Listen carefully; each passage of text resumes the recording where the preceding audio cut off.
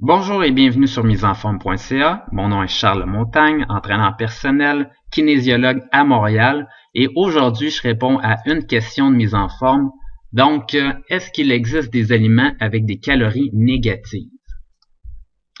Qui avant ça et pour quel aliment? Donc, euh, j'ai entendu parler des calories négatives, donc ce terme-là, euh, il y a environ six mois. Donc, c'était la première fois que j'en entendais parler. Et c'est lors d'une émission télé où il y avait un soi-disant expert euh, de la mise en forme qui disait qu'il donnait certains aliments à manger à ses clients et que ces aliments-là permettaient à ses clients de perdre du poids mais surtout que ces aliments-là étaient magiques, donc euh, qui contenaient des calories négatives. Donc, euh, le principe de calories négatives, c'est que euh, les aliments coûteraient plus cher à votre corps à digérer qu'il en, dans le fond, leur permet d'en absorber de calories. Donc, manger ces aliments-là, là, ça serait même pas juste le fait de qu'ils contiennent pas beaucoup de calories, ça coûterait davantage de calories à votre corps là, de les manger que euh, d'absorber les calories qu'ils contiennent. Donc, ce serait vraiment magique. Ça permettrait de perdre du poids. Donc, euh, quelle est la réponse? Est-ce que ça existe, ces aliments-là? Est-ce qu'il y en a en particulier là, qui sont vraiment magiques? Et que la digestion leur permet de, brûler euh, vraiment beaucoup de calories?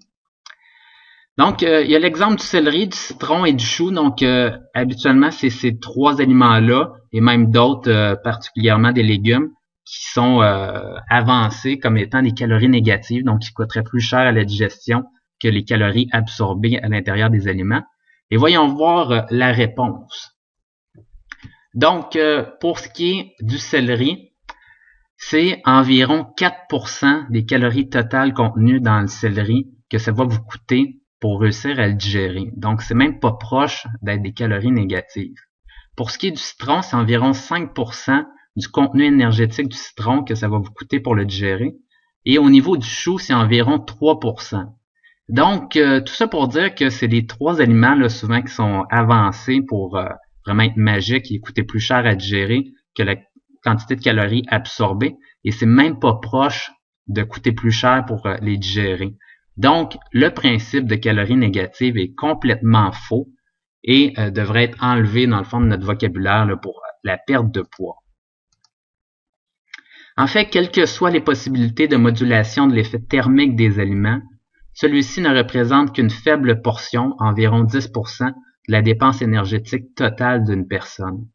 Donc, même si euh, vous pensez à manger des aliments qui seraient calories négatives, ou certaines fois, là, c'est avancé que manger froid, euh, ça permettrait vraiment de booster le métabolisme, de faire en sorte que la digestion coûte beaucoup plus cher et de faire brûler vraiment beaucoup plus de calories. En fait, euh, le fait euh, de l'effet thermique des aliments et la digestion compte environ pour 10%. Donc, c'est vraiment très peu et c'est fort peu probable que vous réussissiez à avoir des, vrais bons résultats de perte de poids avec l'effet thermique des aliments.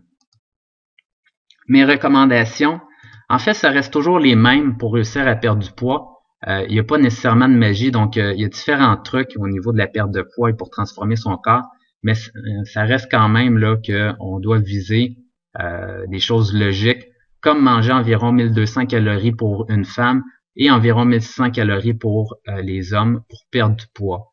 Donc, grosso modo, tout dépendamment de votre âge et votre niveau d'activité physique, ça va toujours tourner environ alentour de 1200 pour les femmes et 1600 calories pour les hommes.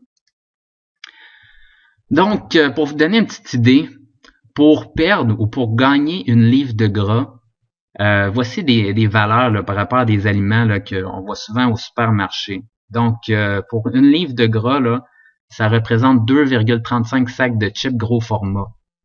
Ça représente également 1,62 pizzas délicieux, euh, environ 35 tranches de pain, 23 barres tendres, 32 verres de vin et 23 bouteilles de bière. Donc, si vous mangez ça, ou si vous enlevez ça de votre alimentation, ça risque de vous faire perdre ou gagner une livre, tout dépendamment.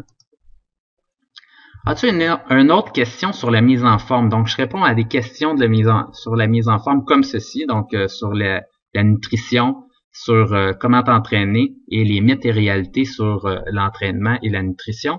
Donc, si tu as d'autres questions, tu peux euh, m'indiquer ça dans la section commentaires juste en bas de l'article. Si tu es sur YouTube, tu peux me mettre ça dans la section commentaires également. Et merci de partager cette vidéo. Ça me fait plaisir que vous l'écoutiez. On se revoit bientôt. Au revoir.